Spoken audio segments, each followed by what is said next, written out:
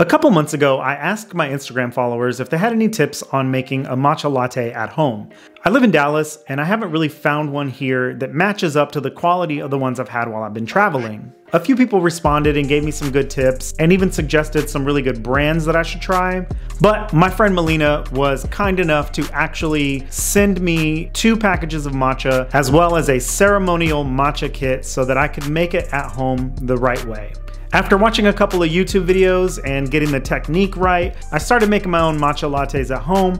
The suggestions that everybody gave me helped me make a really, really awesome drink. I was very happy with my accomplishment and being able to drink these at home because I love them so much. But in the process of making these, I found out just how messy matcha powder is.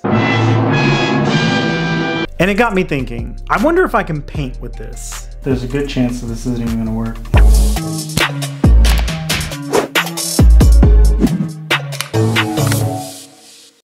I've seen people use pigments to create their own colors whenever they're painting, and a lot of these things are made out of natural materials. So I thought, why not give it a shot? And I started my journey to see if I could paint using matcha powder as a pigment.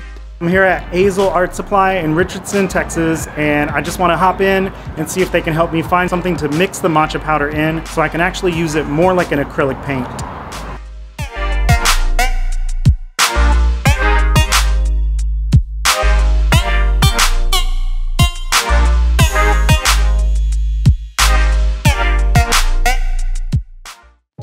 So I started the painting process by printing out a reference image of this cowgirl that I'd drawn.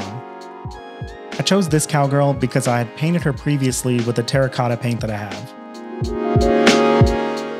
I mixed up my matcha powder with this matte medium that I got from the art store. And as I started to mix it, I noticed it got clumpy super fast.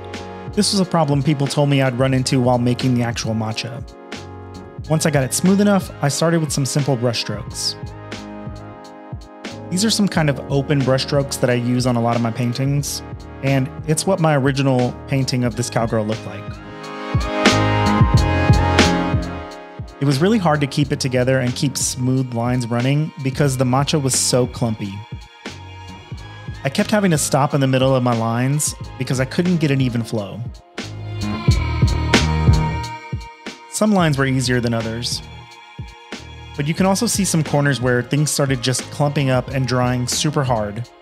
It was drying very fast compared to regular acrylic paint.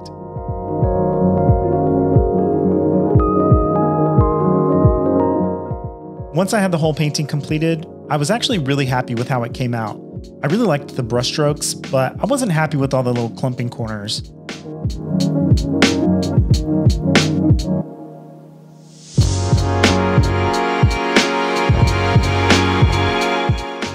When I finished the whole painting, I was really excited to see how bright the green was. The pigment was really awesome until about two weeks later when the whole thing just faded and turned brown. So yeah, unfortunately, I can't recommend using matcha powder as a pigment. It did not work. It was clumpy, it was hard, it was very, very strange, and in the end, all of the green tint just really went away. It turned brown. It was actually pretty ugly.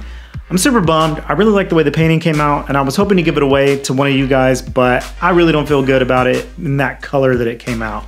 So unfortunately, I'm just gonna have to put this one in the trash. It's the trash, isn't it? It's a sweet, sweet trash. But now I know the results of painting with matcha, and you do too. So thank you guys for checking out this video. If this is your first time seeing one of my videos, please consider subscribing to my channel. You can also hit that like button down there. It helps me out tremendously because it tells YouTube that this is a good quality video and they should show it to other people who would also like this video. Don't forget to hit that little bell notification button down there so you can be notified every time I release a new video. If you want to follow my day-to-day -day stuff, you can find me on Instagram at NickQ and on TikTok at NickQ83.